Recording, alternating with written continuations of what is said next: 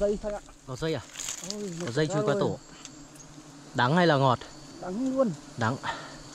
May quá, sáng nay được hai tổ đắng. Tổ sáng nay với tổ tổ sáng nay có khi to hơn đấy nhỉ, tổ anh Hòa cao. Trèo ấy. À tổ anh Hòa มัน ngọt chứ. Tổ anh Hòa ngọt chứ. cũng đắng hết sao Không, tổ anh Hòa là ngọt. Vượt cả chỗ này này. Đấy đi. Đấy đi. Đấy cái bầu nó bắt đầu nó kéo về đây này các bác này, cái bầu nó kéo vào về trong này này. cắt đây nhỉ Cắt dây đi bạn, cắt từ đấy luôn để ờ, đấy cái bác